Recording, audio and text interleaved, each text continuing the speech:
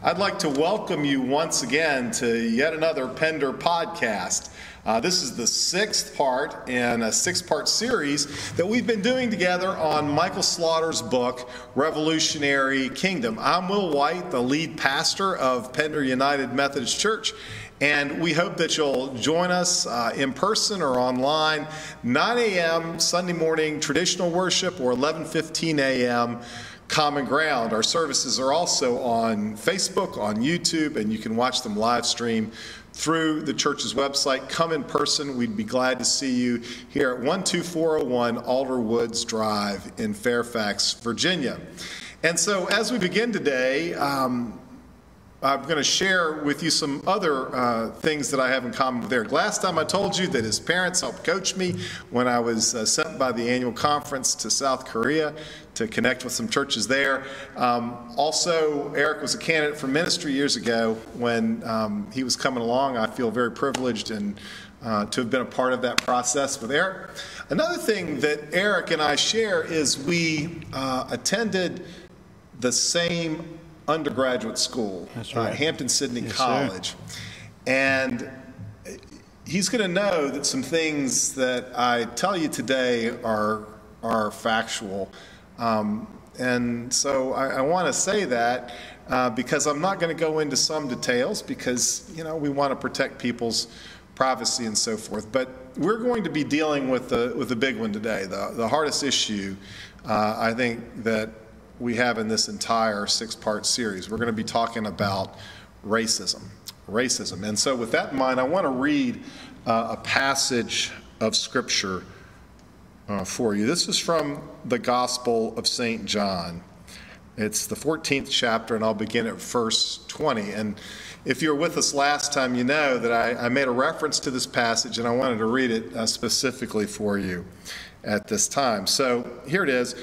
On that day, you will know that I am in my Father, and you in me, and I in you. This is Jesus talking to the disciples, and I think also talking to all of us. So, Eric, you know, we think about racism, and we think about the fact that we as Christians, if Jesus said he was in the Father and that he was in us, if he's in us, we sign our letters in Christ.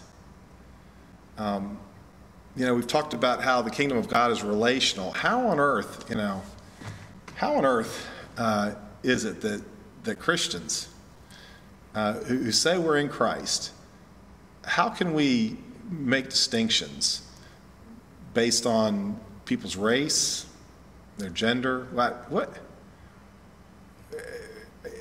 It's awful. Uh, This is, this is something that's haunted the church forever. Absolutely. Thank you, Will. And I'm wondering why, why I was invited for week six.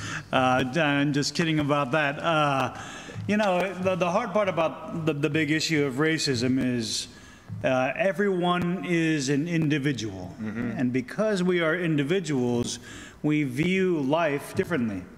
And because we view life differently, each of us looks at things in life uh, through a different kind of lens.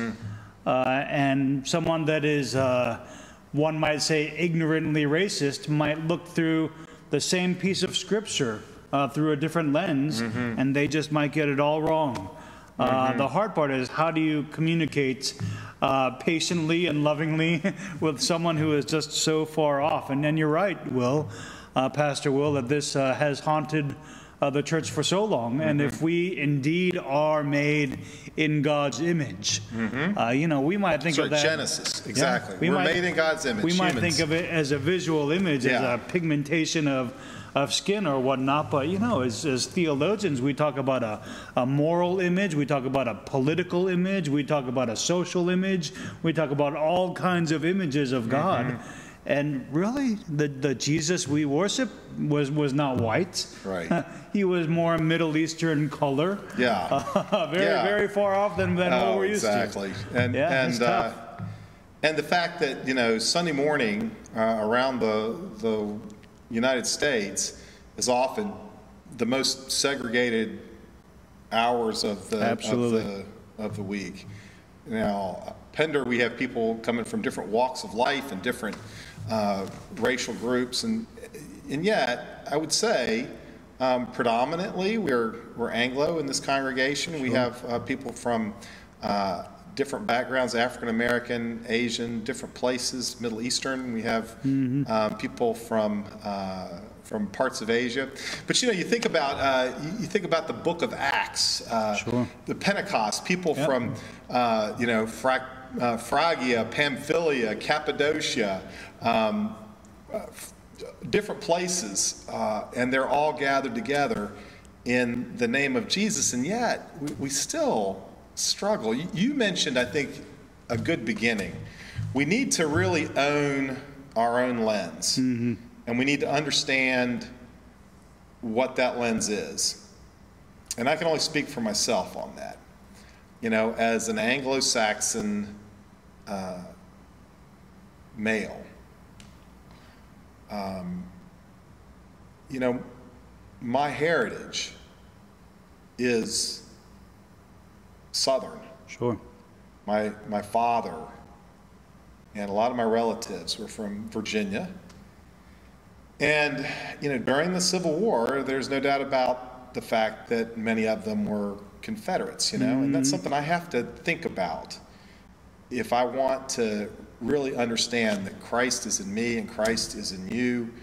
And, you know, I think we really need to own our lens and understand what it is so that, not so we can hang out there, but overcome it. I mean, you know, every so often, I think, particularly with Anglo Saxons, when we're around our own, when we're around people who are like us, that's when you hear the racism come out. That's when the unfortunate things are said, the things that we should, you know, never say. And, you know, as a younger person, I didn't realize just how harmful that can be. Sure. Uh, and, and, and I've really um, had to think about that as I've gotten older. And, and also because, you know, I, you know, I have a Korean son. That's right. And um, I have been on mission trips before where uh, my son, you see, wasn't served ice cream at a particular ice cream parlor uh, while we were on a mission trip. And they did that because of his skin hue. And when I think about how angry that made me, that my son was treated that way, then I have to really think about how I treat my neighbors. You know, I have to really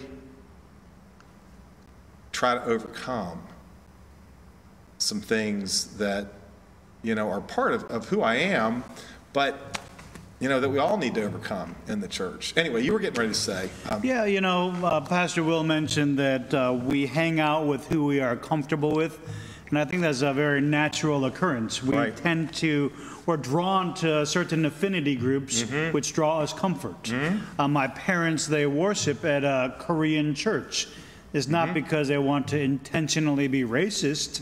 It's because as they immigrated here, they were uh, searching for others who were like them Right. uh, so they can share similar life journey stories together, similar experiences.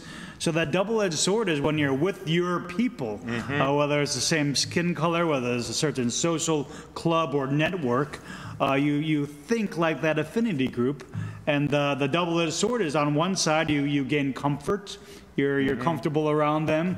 Uh, on the other side. Uh, directly or indirectly, you can uh, develop uh, certain patterns of speech that you might not be proud of. Uh, you can uh, tend to be a little more racist or openly racist uh, amongst uh, certain key individuals, as long as it doesn't leave this room or, or we understand each other in this, this circle. Uh, so it's kind of hard because Slaughter says in his book that we really need to strive to desegregate uh, our churches, our Yeah. people, uh, because if we're really uh, looking for a revolutionary kingdom, Mm-hmm. uh, living into that kingdom lens uh, is, is not about skin color. Right. It's not about uh, just one gender. It's, it's, it's all about uh, uh, all means all, and God's kingdom is for all. Yeah. And I, I think it starts with being a little uh, self-aware about, you know, what, where we're coming from, what our lens is, and, and just how we can then um, try to, to find connection with others. I, I said in the intro, you know, I, um, Eric knows this is true. I, uh, one of my fraternity brothers from school is a very, um, he's a direct descendant of a very notable uh, Southern Civil War figure. And he's a great guy, by the way. The thing,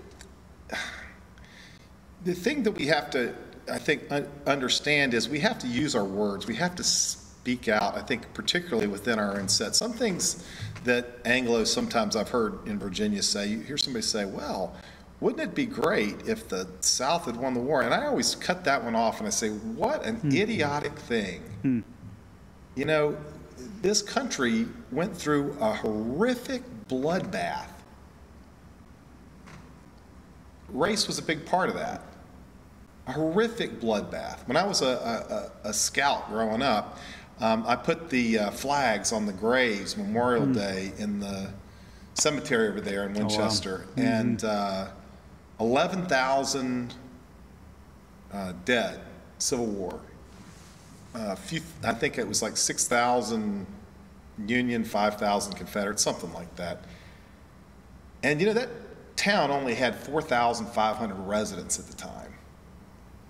And when you think about the pain that this country has gone through over race, Sure. and uh, you know brought to near destruction over it.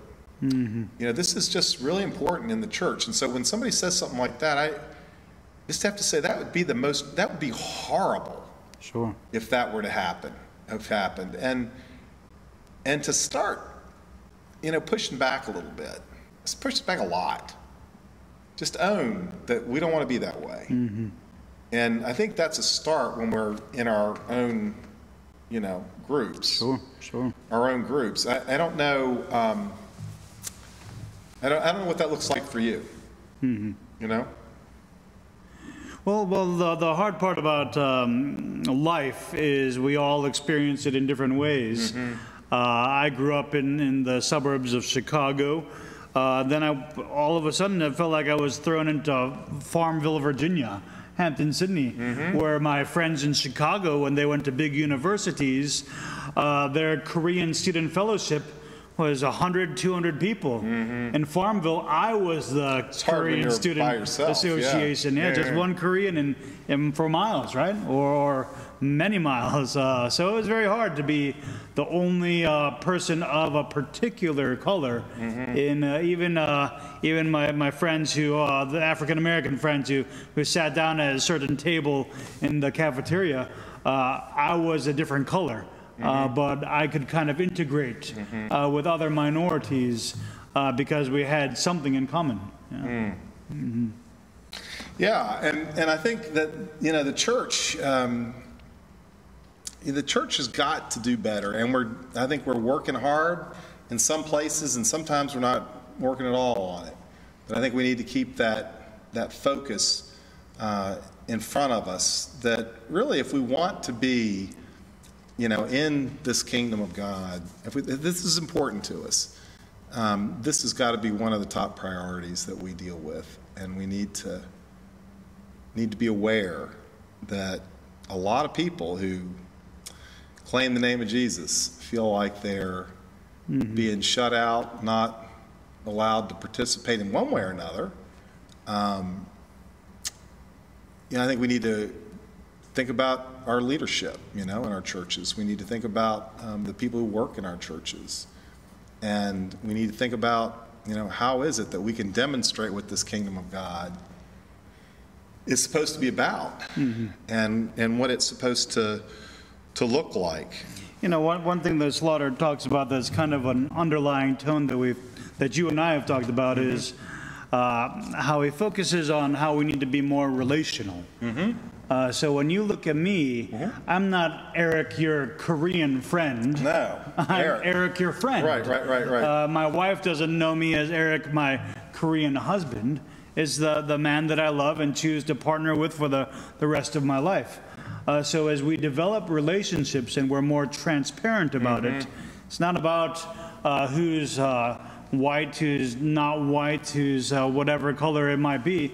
It's about treating each other as an individual Mm-hmm. first and foremost. Mm, And I I think that's a, a hard part in, um, in this country, that there's such a racial divide that sometimes people are apologizing just for uh, being white. Uh, the terms like white privilege or other kinds of things that are thrown around so casually.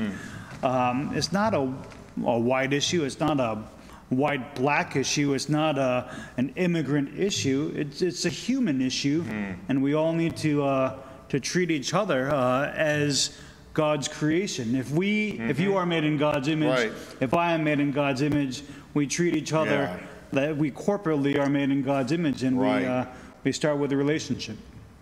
Yeah, it's, it's back to that relationship. If Christ is in us, Sure, then we are doubly, absolutely. uh, you know, charged to, to do this. And then, you know, and then how we treat others in the rest of the world, that says a lot about this Christ that's in us. Mm-hmm, Just the extent to which Jesus is in us. Sure. And um, I think this is one of the things that has, um, it's just one of the things that uh, continues, I think, to sadden a lot of people about the church. And, and thinking about how younger people perceive the church. sure. Um, I know that that's, these things aren't lost on younger people. Um, and they see the church as being segregated in some ways. And um,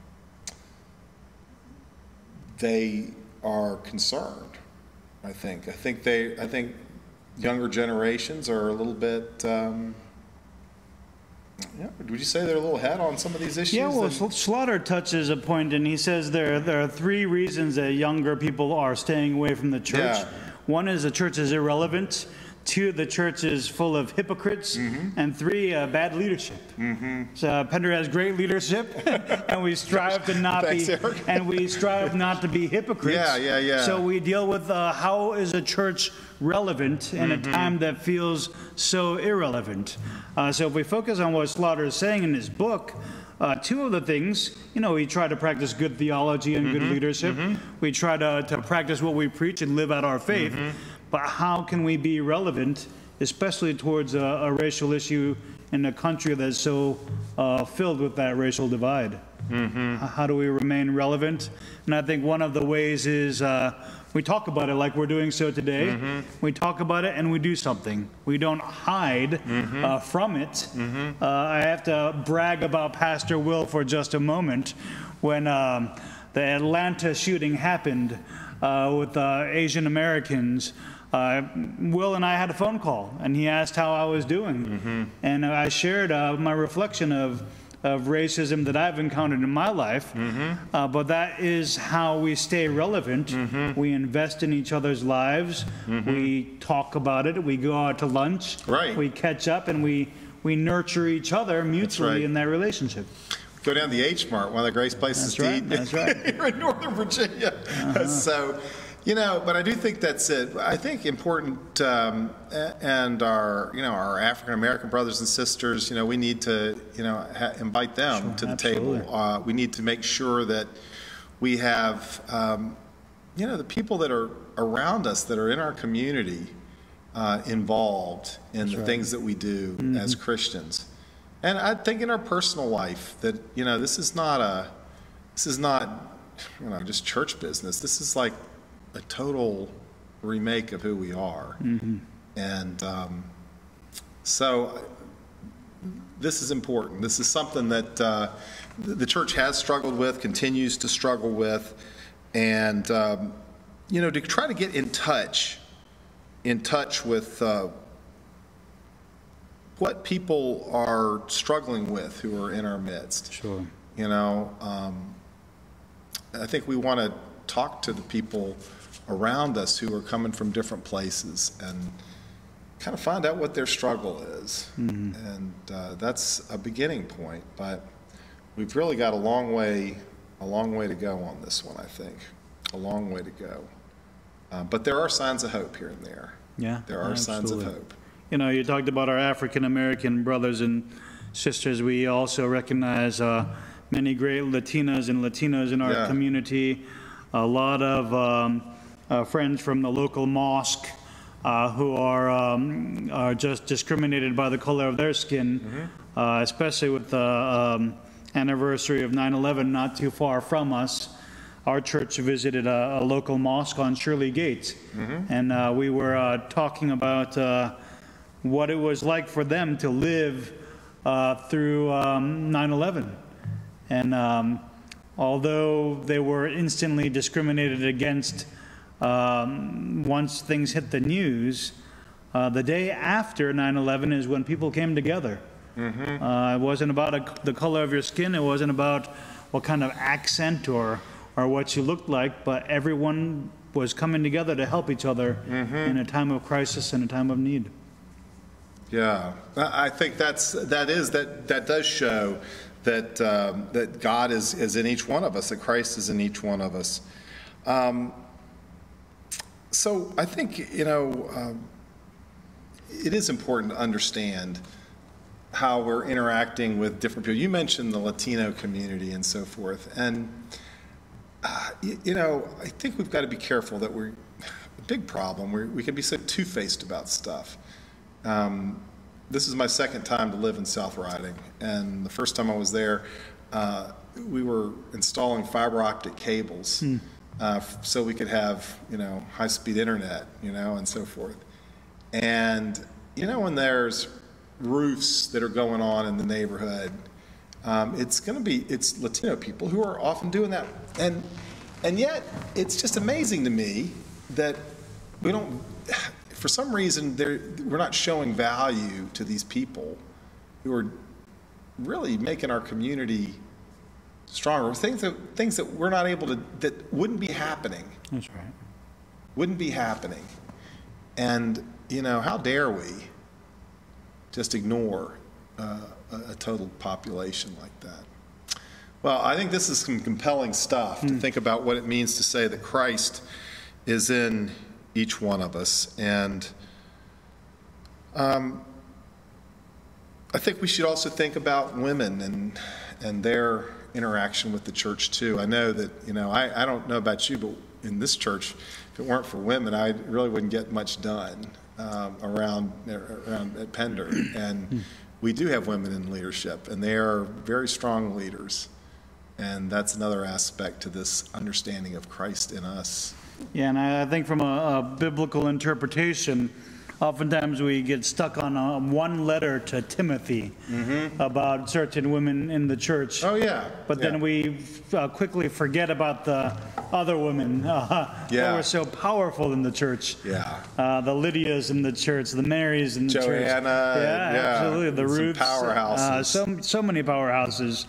Uh, so that, I think an important lesson is not to be fo- fixated on just one piece of scripture, but take it as a whole and, and remember those uh, uh, four mothers uh, that really led the way. Yeah.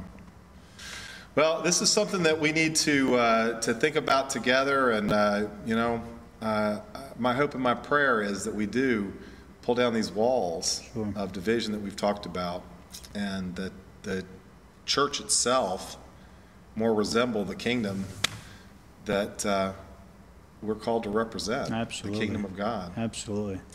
Well, I'm really thankful you've been with us here for two weeks now, you. Eric, and uh, really looking forward to seeing what God's going to do in and through you. And uh, let's uh, pray together. Yes, please.